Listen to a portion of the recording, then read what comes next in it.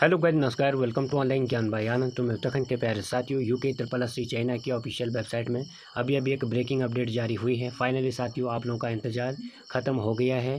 सहायक अध्यापक अल्टी की वेटिंग लिस्ट अभी अभी यूके ट्रिपल सी चाइना की ऑफिशियल वेबसाइट में पब्लिश हो चुकी है। आप लोग देख सकते हैं ऑफिशियल वेबसाइट में जाकर, यदि आपको नहीं मिल पा रहा है, इस वीडियो डिस्क्रिप्शन बॉक्स में पीडीएफ की लिंक डाल रहा हूँ। आप लोग वहाँ से डाउनलोड कर सकते हैं। तो